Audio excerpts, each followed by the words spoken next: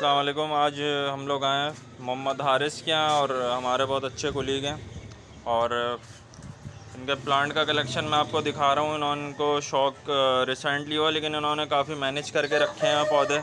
और आज हम लोग चीकू नर्सरी भी गए थे, उसकी भी वीडियो हमने डाली है पेज पे। तो ये आप देख सकते हैं, डेफन बाशिया का पौधा है यूफोरबिया मिली, दिख रहा है आपको।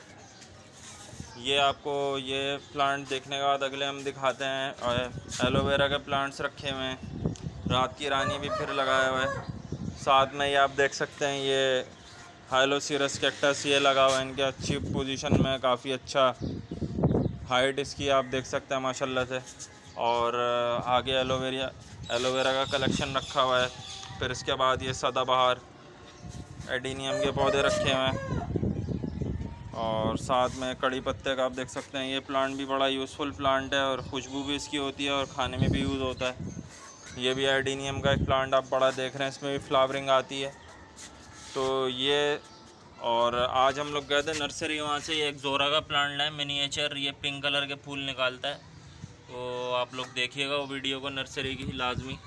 और साथ में आज हम लोगों ने आज ये लगाए हैं, नए पौधे सेक्यूलेंट आप देख रहे हैं।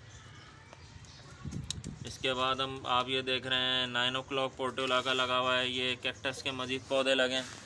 और ये देखें, ऊपर विक्टोरिया के पौधे हैं सेक्यूलेंट और रखे हुए हैं हमारे पास। एक नॉप्सिस रखे हुए हैं कोरिफानता रखे हुए हैं। ये रखा हुआ है इनका चट्रोपा का प्लांट ये इस पर भी बग्स ने अटैक करा था इसको। पेस्टिसाइड से कंट्रोल करके दोबारा रिवाइव किया गया। अब इसकी फ्लावरिंग आप माशाल्लाह से देख सकते हैं। और ये यूफोरबिया के भी फ्लावर्स मैनेज हुए हैं। तो ओवरऑल छोटा कलेक्शन लेकिन तरीके से रखा हुआ है।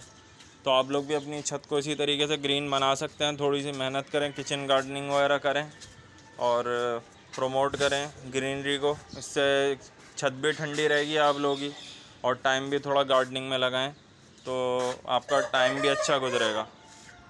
तो देखते रहिए प्लांट लवर्स को सब्सक्राइब करें और ये कलेक्शन आपको कैसा लगा ये भी कमेंट में ज़रूर बताइएगा। Thank you